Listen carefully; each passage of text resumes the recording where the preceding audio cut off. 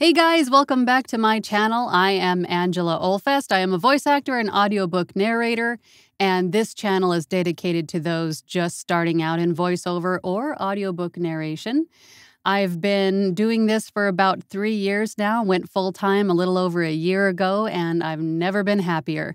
So, as my pay it forward, I've created this channel to help you, those of you out there that are learning how to start to do voiceover and audiobook narration, to help you, you know, just to share some of the information that I have found along my own road to success in this industry and hopefully save you from some of the mistakes that I've made myself in the past. but what I wanted to talk about in today's video is a question I've got uh, a few times last week, and that was regarding telephony, IVR like company phone greetings. When a client sends you a script and says, I need these split, I want background music, I want the on hold looped for five minutes, and I need them in u-law. And you say, Great. What? I totally get it. I've been there myself. So that's what we're going to talk about in today's video. I'm going to run you through how to do some of these things. So let's get into it. All right, the first thing we're going to do is pull up our Adobe Audition.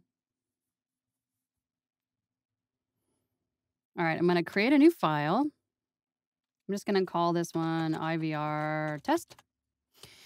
It is important to ask your client what format they need their files in up front.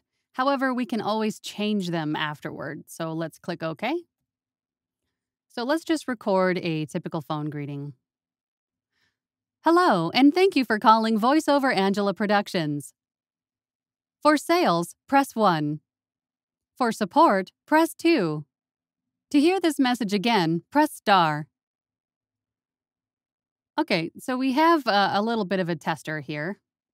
Hello, and thank you for calling VoiceOver Angela Productions. First thing I'm gonna do is gonna we're gonna reduce some of the pauses in here. We don't want them that long. And then what I'm going to do, get rid of uh, my breath at the beginning, kind of shorten down the head and tail a little bit. And then I'm going to add my effects rack, which I have talked about in a couple of videos, and I will put those cards to get to those videos up above. So I'm going to apply my rack, which is basically a little bit of noise removal and a little bit of EQ. And then we have Hello, and thank you for calling VoiceOver Angela Productions. For sales, press 1. For support, press 2. To hear this message again, press star. Okay, great. So there's our IVR test. Now, if this client needed it in u-law, it'd come up to File, Save As, and right at the format here, this drop down, select Libsndfile. And then if you look down here in your settings, you will see it's a waveform audio u-law or mu-law 8 bit PCM, which is pretty typical for like uh, Grasshopper and some of those other corporate phone message systems out there. And then there you go. Easy peasy lemon squeezy. Okay, so now if the customer wanted to add music, we would go to New, Multi Track, and we'll just call this one IVR Test. All right, and now I'm going to pretend that this is an on hold. Because if you think about it, when you call into a company and they put you on hold, you hear a message and it plays every 15 to 30 seconds. So let's just pretend that my voiceover sample here was an on hold message. So what I'm going to do is I'm going to start at about a second in, and then I'm going to upload or open my music. I'm just going to pull in a track that I've used before. Okay, so I've got that open.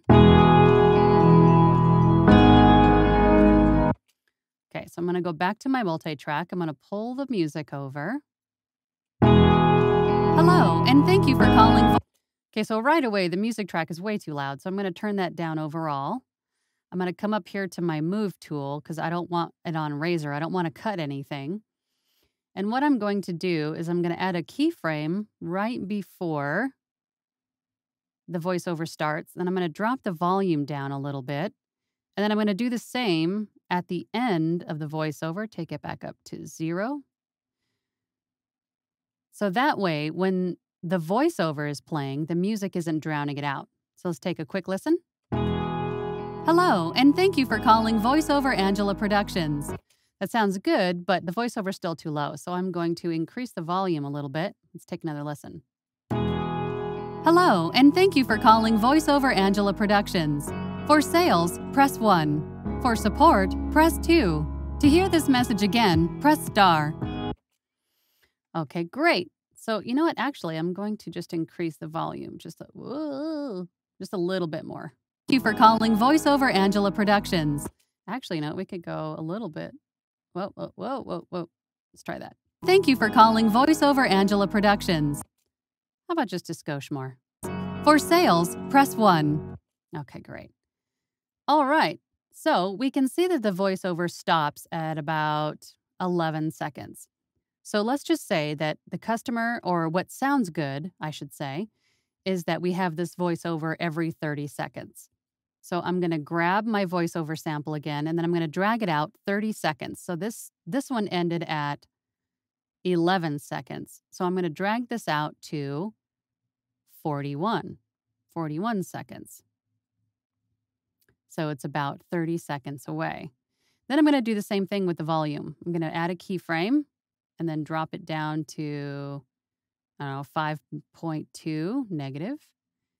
And then I'm going to do the same at the end. Okay. Let's widen this out a little bit. And then as you can see, the song ends right about here. So what I'm going to do is just see what it sounds like at the end. Press star. All right. So I'm going to extend this song out a little bit. I'm going to drag it over. And what I'm going to do is if you can see, you can see the peaks of the beats where they hit on the music. And you can see them over here where the music ends. So what I'm going to try to do is to match up the beats. So it sounds like it's continuing. Let's take a listen. Again, press star. That sounds a little bit weird. So what I'm going to do, just so the voiceover is not a distraction, I'm going to mute that track. And let's see. Let's get rid of this fade a little bit. Let's see. Yeah, that just sounds really weird. So what I'm going to do is this particular song has a kind of a slow beginning. So I'm going to start it right about there and pull it over again. Let's see if we can get the beats to match up. Nope, that doesn't really work either. Let's go a little further into the song.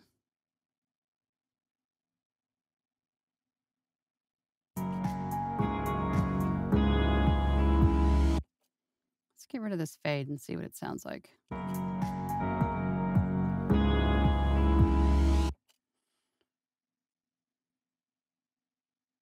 Let's try that.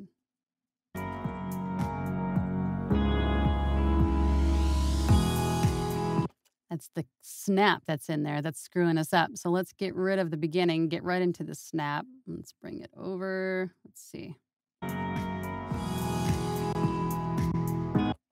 Close. Let's see. Okay, there's like a cymbal or something in there. So let's get rid of that a little bit more. Let's bring it over here.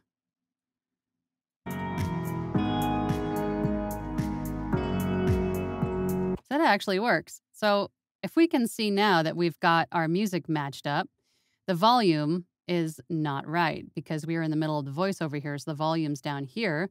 So what I'm going to do is just grab this little volume bar and bring it down to match and then bring the keyframes back up, just like we did with the other voiceover. And let's take a listen to it all done here. For support, press 2. To hear this message again, press star. It's not perfect, but you get the idea. So, in order to replicate this, what we're going to do is just do the same thing that we did again. I'm going to copy this piece. Then I'm going to bring it over here and I'm going to, whoops, I'm going to paste it in and then just match it up again, match the beats. and fix the volume bar. There we go. Takes a little bit of adjusting here. Let's do, let's try that.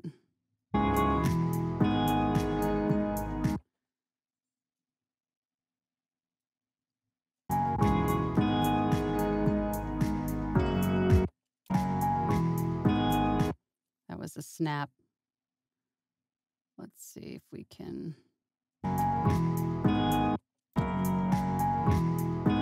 Ah, snap. All right, let's mix that right there. Decrease the fade a bit. Hmm. Let's pull it a little further in. Looks like I didn't pick the right song to do this with, but you get the idea. So we have our voice over here at 30 seconds in. So we're going to pull another one in. So this one ends at about 51 seconds. So we're going to extend this out to 121 and then just do the same thing with the the keyframes. Drop the volume down a bit.